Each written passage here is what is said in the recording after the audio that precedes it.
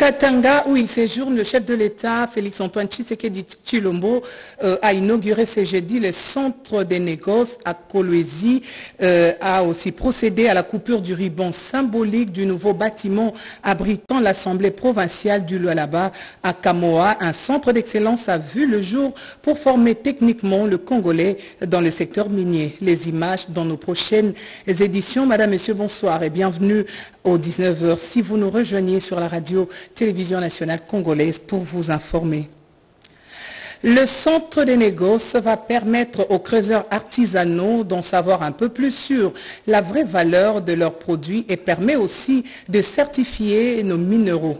Dans la commune de Dilala, les députés provinciaux ont enfin trouvé leur propre bâtiment avec une capacité d'accueil de 300 personnes. Ces nouveaux bâtiments témoignent l'image de la grandeur de cette province, poumon économique de la RDC. Une histoire de Gaëtan Magalano dans un film des Gédéon hangars et bâtiments administratifs dans un espace de 15 hectares, le centre du négoce Coluisi dévoile enfin ses couleurs avec fierté pour répondre à un besoin, besoin de trésors artisanaux, ici rappelé. Avant, on avait beaucoup de manques à gagner puisqu'on ne savait pas certifier bien la quantité de matières qu'on vendait auprès des acheteurs. C'est-à-dire d'abord en commençant par la balance et puis la teneur même à minérer un lieu de commerce et d'échange destiné aux trésors artisanaux. C'est une initiative qui a été mise sur pied en réponse, bien sûr, euh, à toutes euh, les réglementations internationales euh, en matière de l'approvisionnement responsable des minéraux provenant des zones de conflit et des zones à haut risque. Adilala, une œuvre résume la grandeur d'une institution provinciale composée du bâtiment administratif et d'un hémicycle. L'Assemblée provinciale du Lualaba dispose d'une capacité d'accueil de plus de 300 personnes. À partir d'aujourd'hui, après l'inauguration, les députés provinciaux du Lualaba, les services euh, de l'Assemblée ne devront plus être locataires. Fini euh, de donner des sous aux bailleurs, ils vont avoir leur bâtiment propre, ils vont travailler dans ces beaux cadres qui reflètent euh, l'image de la province du Lualaba. Dans le secteur de l'Ufupa, une vision transforme toute une communauté. Enfants des autochtones, désormais étudiants à l'université de l'excellence de Kamoa, un centre technique spécialisée dans le secteur minier. Si nous voyons avec euh, l'université que Kamoa vient de construire, ça va nous aider, nous la population de Mouchacha, de continuer les études parce que vous allez voir que beaucoup de gens à Mouchacha, ils ne font pas l'université. Deux constructions qui témoignent l'esprit de grandeur voulu imprimer par le garant de la nation dans la modernisation de nos provinces. Et la ministre de Mines, Antoinette Samba Kalambaï, sur place dans le Haut-Katanga, a mis le cap sur le laboratoire d'analyse euh, chimique de Moussompo, euh, une réalisation du centre d'expertise, d'évaluation et de certification à 40 km au nord du centre-ville de Kolwezi. Plus de détails avec Nadine Futuka, notre envoyé spécial depuis la ville de Kolwezi. La ministre de Mines, Antoine Tsamba Kalambay, a mis le cap sur le laboratoire d'analyse chimique de Moussompo, une réalisation du centre d'expertise, d'évaluation et de certification de substances minérales, précieuses et semi-précieuses, à 40 km au nord du centre-ville de Kolwezi. Elle y était accompagnée d'une forte délégation des différents services de son administration. Antoine Tsamba Kalambay a parcouru toutes les salles de machines sous la conduite et exploitation technique du directeur général du CEC, Freddy Mwamba Koniku, sur les différents rôles de ces machines dans le traitement des échantillons de minerais. Au terme de cette visite guidée, la délégation de la ministre Nsamba s'est rendue sur le site du salon minier pour s'imprégner des stands de son secteur d'activité en plein centre-ville de Kolwezi. Le vice-premier ministre, ministre de l'économie nationale, Vital Kamere, parmi le co-parélistes de la 7e édition Expo Béton 2023, a insisté sur la diversification de l'économie tout en mettant un accent sur l'apport de l'agriculture comme moteur de développement d'une nation. Nous sommes là à Kolwezi, dans la province du Lualaba. Un reportage de Jojon Dibou rendu par Diane Balaka.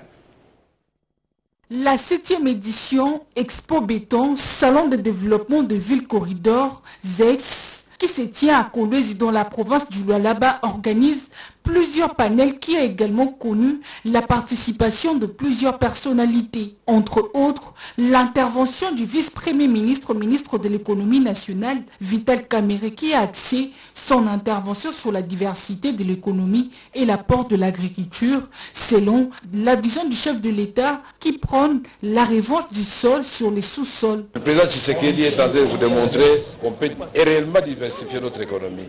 Il y a beaucoup plus d'entrepreneurs maintenant qu'il y en avait avant, d'où la création du ministère d'entrepreneuriat petites et moyennes entreprises. Ce n'est pas l'État qui produit, l'État incite, l'État fait la réglementation, l'État fait des réformes pour permettre aux talents, aux gens qui ont des ambitions d'émerger. Le directeur technique de l'INPP, Paul Ngongolo Badikila, représentant le directeur général de l'INPP Goldefroy Stanislas Chimanga, a également expliqué l'apport de cet établissement dans la formation et construction des infrastructures sur toute l'étendue du territoire national. Nous devons arriver à nous relier à tous ces pays-là, construire des routes, Parler de la route signifie beaucoup de choses là-dedans. Il faut avoir une main-d'œuvre qualifiée en conduite des engins, en construction, dans presque tous les domaines liés à ce qui est construction. Et là, je vois qu'il y a une un très, très grand rôle à jouer. La gouverneure du Lualaba s'est dit satisfaite de voir cette initiative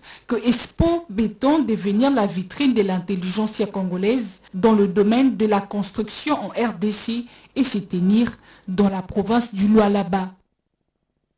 Quittons le Katanga pour le Congo central. Le journaliste membre du réseau des communicateurs pour le développement durable ont été outillés sur le principe qui doivent guider une bonne communication en matière de développement. C'était au cours d'un atelier de renforcement de capacité sur la communication axée sur la gouvernance de la transformation économique des développements à Zongo dans le Congo central. Reportage Manita Bangoulou. Loin de la bruyante vie de Kinshasa, les journalistes de RCDD ont profité du calme et de la verdure naturelle de Zongo pour se mettre à l'école de la communication pour le développement. À l'approche des scrutins électoraux, les journalistes devraient s'abstenir des tout discours de haine, de violence et de fake news. Le rôle du journaliste en cette période est crucial et fondamental, a rappelé M. François Elika. On peut retenir trois choses de cet atelier. Les principes qui doivent guider une bonne communication en matière de développement, c'est l'attitude de proactivité. Il est important d'anticiper pour euh, être un très bon communicateur dans les champs de développement l'attitude liée à l'interaction. Les journalistes ne doivent pas travailler seuls, ils doivent être interconnectés parce qu'il s'agit de formaliser un argumentaire qui puisse être un argumentaire qui rassure et qui donne de l'espoir aux gens. Quadio Gora, coordonnateur du programme Fonared, est revenu sur les enjeux environnementaux de la RDC dans l'optique de la réflexion des gaz à effet de serre, avant que le responsable des laboratoires ne planche sur l'innovation pour le développement. Pour être efficace et atteindre les objectifs, le PNUD lui-même a besoin d'innover et a besoin aussi d'innover avec ses partenaires. Et donc, euh, je présume que le réseau des journalistes dont il est question est un partenaire avec lequel le PNUD travaille. Et donc, c'est important que ce réseau aussi soit au courant de comment le PNUD s'organise pour innover pour le développement et le développement durable du, Cette session prépare les journalistes à se spécialiser dans un domaine en vue de compétir au prix du journalisme pour le développement en marge de la Semaine des Nations Unies au travers de thèmes comme l'environnement dans les 145 territoires, la lutte contre la pauvreté et le réchauffement climatique et l'innovation. Ces concepts nouveaux forgent par le PNUD et dans le souci majeur d'appuyer la croissance des micro, petites et moyennes entreprises, d'accroître les opportunités d'emploi et d'entrepreneuriat en RDC, le service de développement des entreprises a organisé une session de formation sur la communication des dispensateurs euh, d'informations aux micro, petites et moyennes entreprises. Karen Kankolongo pour le commentaire.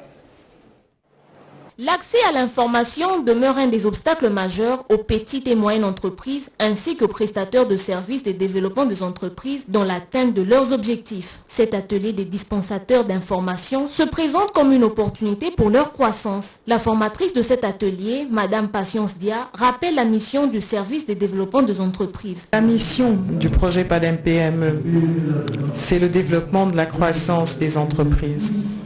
La mission du service de développement des entreprises a été de former des prestataires de services qui renforceront les capacités des PME. Pour que ces PME soient croissantes, il s'agit de renforcer leurs compétences non seulement au niveau technique, mais aussi au niveau de l'écosystème qui les entoure, de ces dispensateurs qui leur apportent des informations clés.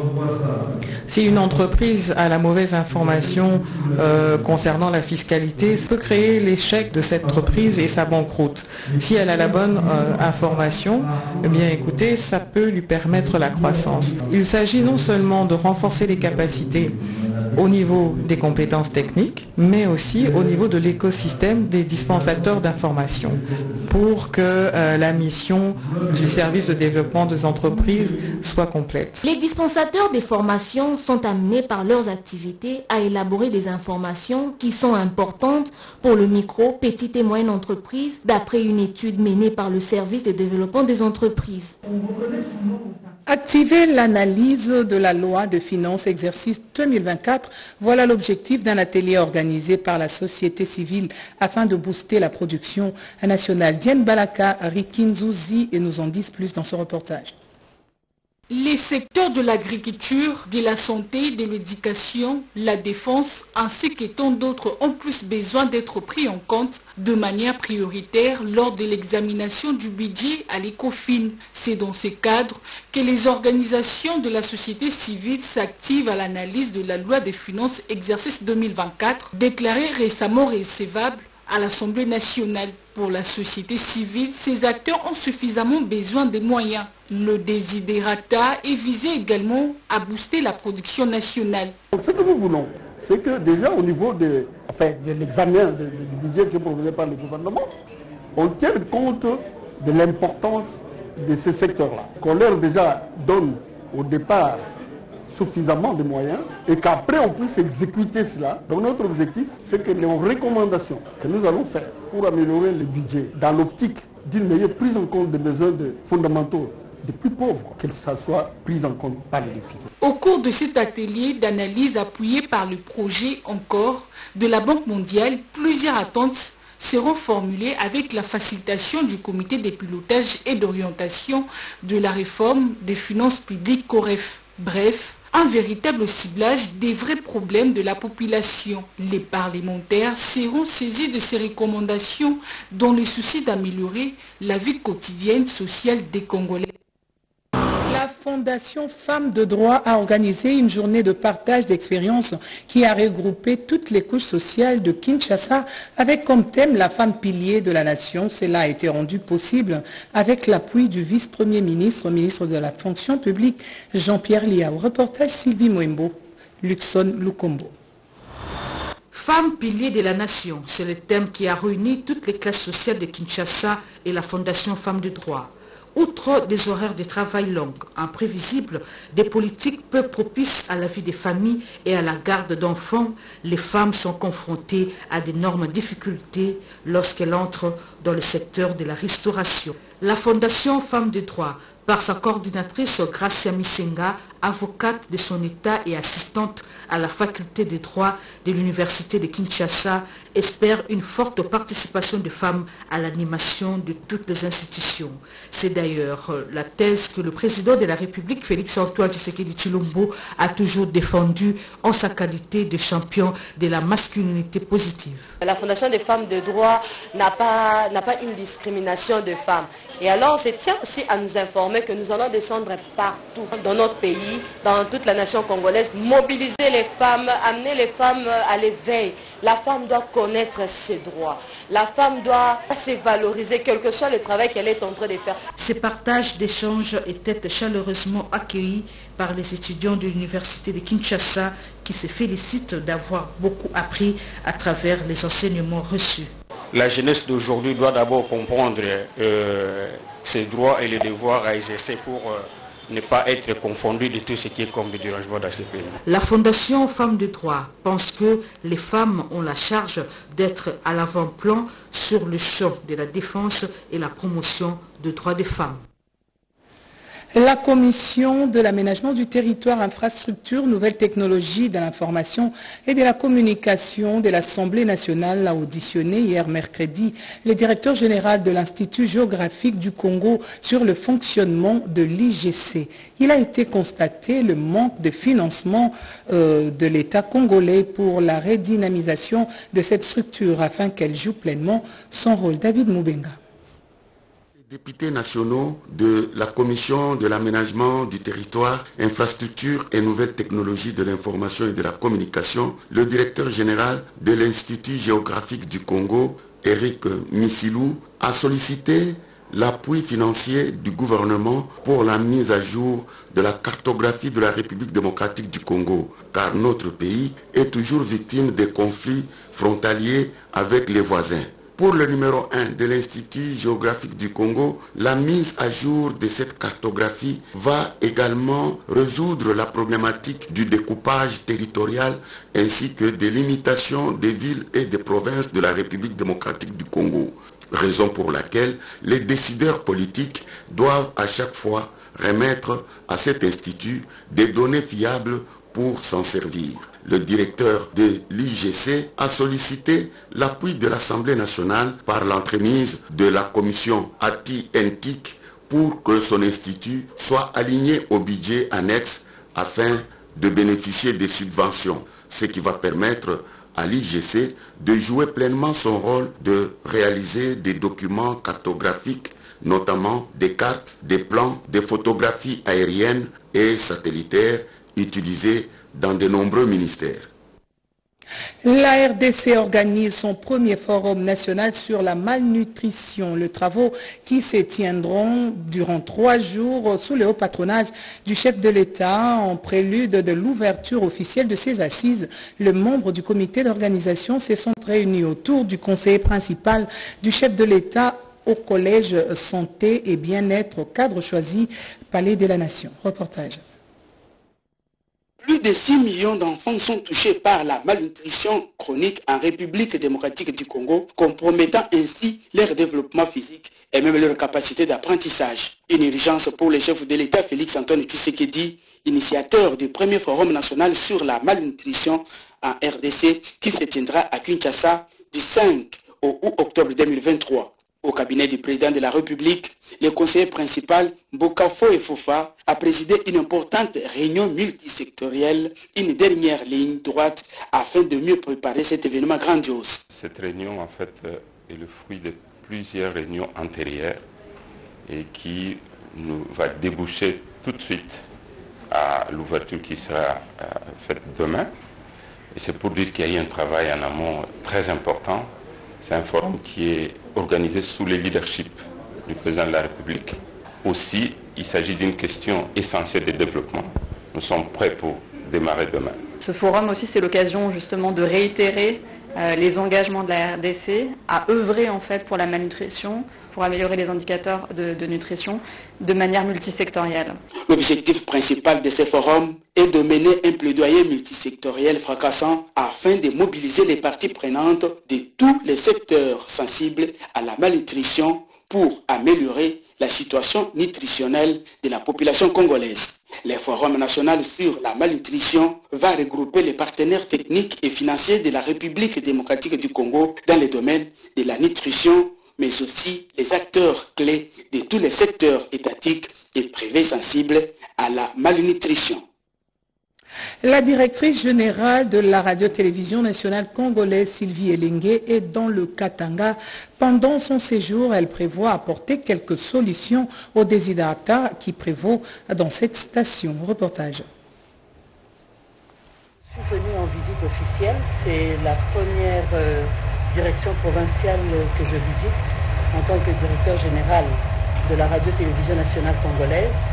L'objectif, c'est d'aider à hum, réorganiser un tout petit peu notre direction provinciale, comprendre les enjeux, les défis auxquels euh, vous êtes confrontés ici localement et permettre à ce que je puisse booster certains dossiers, particulièrement la redevance qui nous tient à cœur parce que l'avenir de la radio-télévision nationale congolaise dépend de la redevance, qui est pour nous une source euh, très importante de, recettes. Et donc c'est un peu toutes ces questions que nous sommes venus évoquer avec les autorités locales et profiter également de la présence de notre ministre de tutelle dans la région pour que tous ces, dossiers puissent euh, remonter à la surface et que nous puissions les traiter et permettre à la direction provinciale de fonctionner comme toute chaîne de télévision et de radio.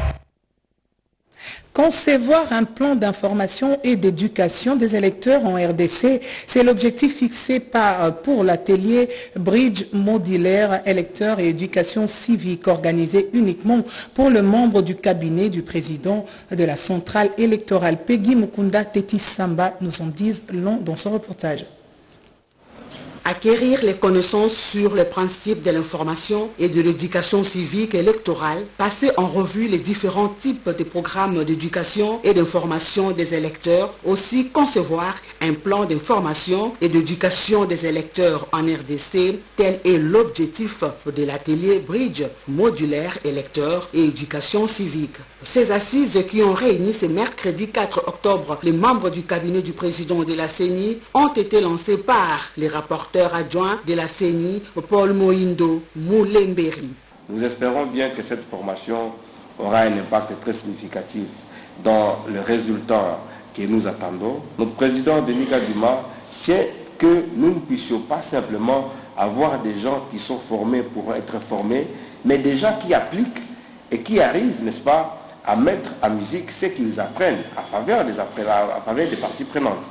Mais nous attendons de vous, chers participants, une participation qualitative, mais une participation qui va permettre à tous ceux-là qui viendront ici de comprendre que la CENI a de très beaux communicateurs, que la CENI a des agents qui sont à la hauteur de leurs tâches. Et c'est par ces mots que je déclare ouverte cette session de formation bridge euh, basé sur euh, la communication. Ces travaux qui se déroulent du 4 au 6 octobre seront sanctionnés par la cérémonie de remise de brevets aux participants. Les relations bilatérales entre la RDC et Israël se solidifient davantage. Récemment, l'ambassadeur de l'État hébreu en séjour à Kinshasa a eu plusieurs échanges avec les autorités congolaises en on signale des avancées significatives entre les deux euh, pays. Joël KMB nous en dit plus. Il y a peu, la République démocratique du Congo recevait un diplomate israélien sur son sol. Un séjour dans la capitale congolaise qui s'inscrit dans le cadre de la redynamisation des relations bilatérales entre l'État hébreu et les pays de Félix Tshisekedi. La conférence des presse organisée par la RD Congo Béni Israël a permis de noter les avancées enregistrées telles que les décline son président fondateur. La République démocratique du Congo est en marche pour sa destinée prophétique. 50 ans après que le Congo ait coupé ses relations avec Israël depuis le 4 octobre 1973 et aujourd'hui nous sommes le 4 octobre 2023. Nous sommes très contents parce qu'aujourd'hui nous avons parlé des retombées de la visite de son Excellence l'ambassadeur Shimon Solomon qui était en visite ici au Congo à notre invitation. Et nous sommes très contents que quand il est venu, il a pu rencontrer les autorités du pays et voir même le président de la République démocratique du Congo. Un grand rassemblement est prévu au cours du premier trimestre de l'année 2024. Et cette visite qu'il a faite a engendré que le président de la République, son Excellence Félix Antoine Tshisekedi Chilombo, puisse rencontrer le Premier ministre d'Israël où la grave décision a été prise, une décision audacieuse d'amener l'ambassade de la RD Congo euh, qui se trouve à Tel Aviv, à Jérusalem, et que Israël va réimplanter son ambassade ici à Kinshasa, lancer l'appel officiel pour la grande manifestation que nous préparons le 10 mars 2024 au stade de martyrs qui s'appelle RD Congo Béni Israël. RD Congo Béni Israël est une branche de la structure Africa Béni Israël qui a vu le jour en 2020 à RDC et actuellement elle est implantée dans plusieurs provinces à travers les pays. Une table ronde a vécu à Goma, dans le Nord Kivu, en marge de la journée internationale de la dépénalisation de l'avortement célébrée chaque 28 septembre de l'année selon le protocole de Maputo. Aujourd'hui, plusieurs femmes et jeunes filles meurent à cause de pratiquer les avortements clandestins. Une initiative des IPA euh, RDC. Reportage spécial a offert l'opportunité pour faire le point avec les décideurs au niveau provincial sur l'applicabilité de cadres juridiques congolais à l'égard de l'avortement sécurisé en RDC. Sous la direction de la conseillère principale du gouverneur en charge du genre et jeunesse, Madame Priska Luanda Kamala, qui a salué la tenue de la rencontre vu la situation que traverse le Nord Kivu. Elle a exprimé l'implication et l'engagement du gouvernement provincial sur les droits des femmes et jeunes filles. Démocratique du Congo a ratifié en 2008 le protocole de Maputo qui, à son article 14, alinéa 2.c, autorise l'avortement dans des conditions particulières s'il est pratiqué médicalement en vue de protéger les droits reproductifs de la femme particulièrement. Lorsque la grossesse met en danger la santé mentale et physique de la mère ou la vie de la mère ou du fœtus, ou en cas d'agression sexuelle, de viol et de l'inceste. Pour Dr Célestine Bouy-Bouy, la chargée de l'engagement communautaire chez IPAS Nord Kivu, cette date nous invite à plaider en faveur de la protection et la promotion des droits de la femme et de la jeune fille. Les questions des droits de la femme demeurent une préoccupation sociale. Les défis de l'égalité des genre, d'équité dans la jouissance, de droits en RDC sont énormes. Mais nous restons convaincus qu'avec l'engagement de tous, nous pouvons réduire ces inégalités et garantir à la jeune fille et aux jeunes garçons la même chance, les mêmes opportunités de la naissance. Le chef de division provinciale de la jeunesse, Guy Kibirando, a indiqué que des mécanismes sont montés pour sensibiliser la jeunesse du Nord Kivu sur l'avortement sécurisé selon le protocole de Maputo. Et que la population du Nord Kivu est plus euh, constituée des jeunes, filles comme garçons, nous avons pensé qu'il faille mettre en place un dispositif communautaire. Ça veut dire un engagement communautaire des jeunes filles et garçons pour que nous allions des coins en recoins, des villes en territoire, des chefferies en groupement, des quartiers en avenir en, en cellules. Cette rencontre a connu la participation des acteurs de la société civile, des acteurs juridiques, des prestataires de soins et d'autres partenaires.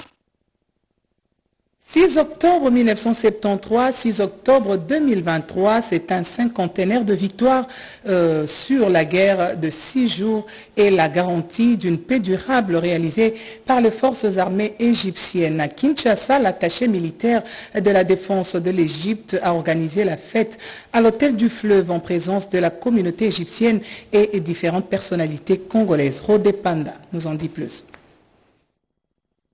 6 octobre 1973, 6 octobre 2023, ce cinquantenaire de la bravoure des armées égyptiennes a été célébré à Kinshasa sous la supervision de l'attaché militaire de l'Égypte, le colonel Mohamed Shaouki El Shahed, qui a réuni à l'hôtel Fleuve Congo à Gombe la communauté égyptienne résidant à Kinshasa, les différentes délégations des corps diplomatiques des pays amis de l'Égypte, les personnalités politiques et militaires de la RDC. C'était en présence de l'ambassadeur de la République arabe d'Égypte, Hicham El Mekwed, du président du Sénat, le professeur Modeste Abati Lukwebo, et du secrétaire général à la défense de la RDC, Lukukwila Marcel. Le colonel égyptien a vanté la bravoure de son armée à travers le monde et la coopération bilatérale sur le plan militaire avec la RDC. Je saisis cette occasion pour remercier le ministère de la Défense congolaise, ce qui nous a donné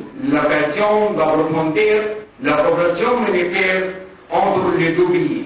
Et par notre célébration, aujourd'hui, nous rappelons et inculquons aux esprits que la paix et la paix solide pour la construction, le progrès et le développement.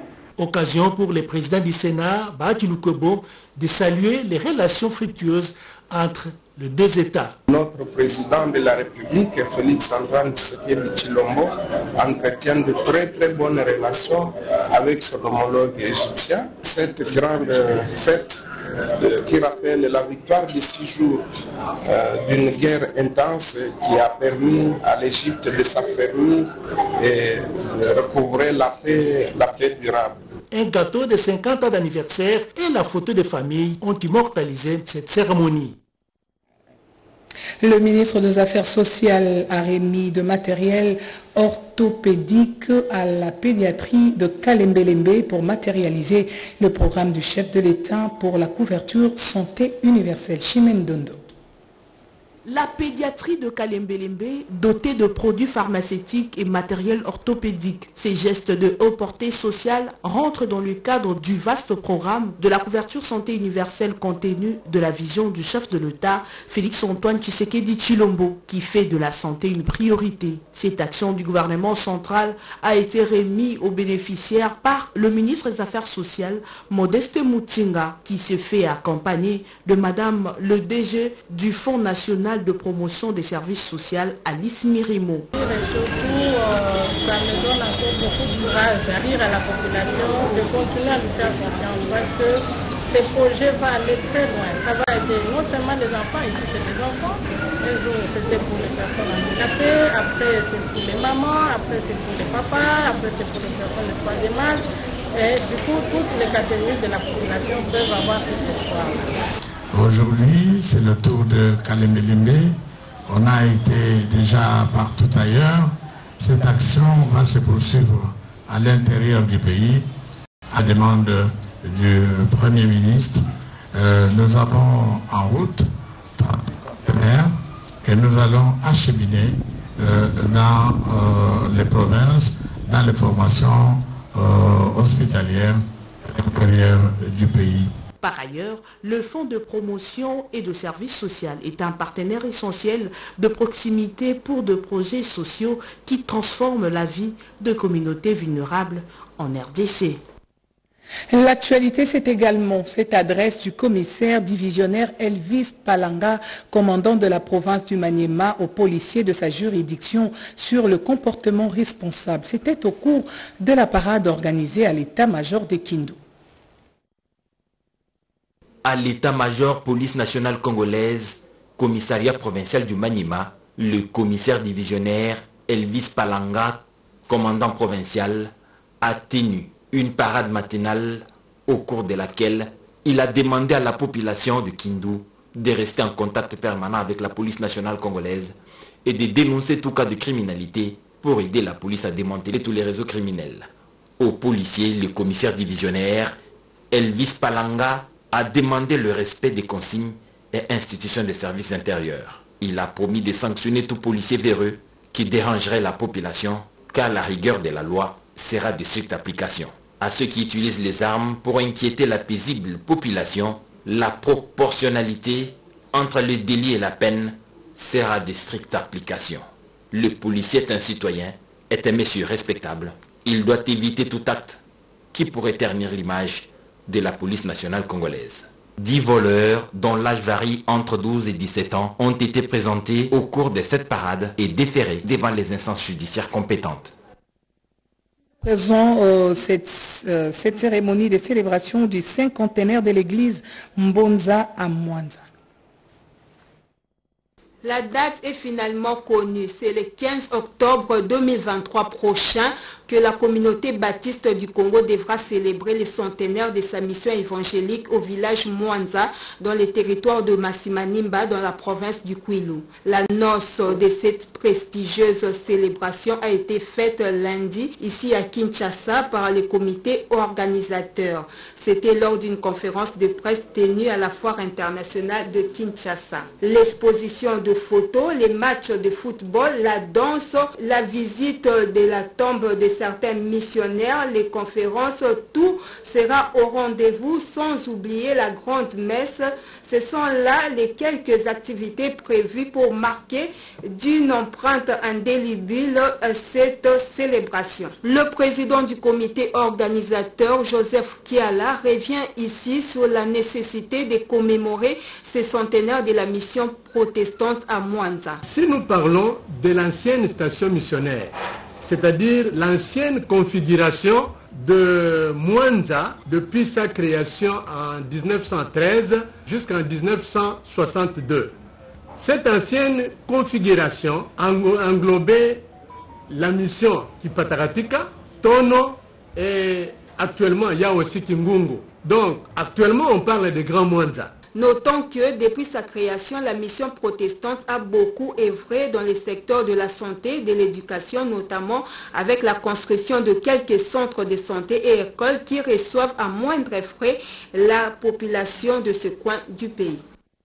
Voilà qui boucle complètement ce journal, Madame, Messieurs. Merci à vous de l'avoir suivi de partout à travers le monde. 20h, Sandra Nyangui pour la suite de l'actualité. Excellente suite de programme à toutes et à tous. Au revoir.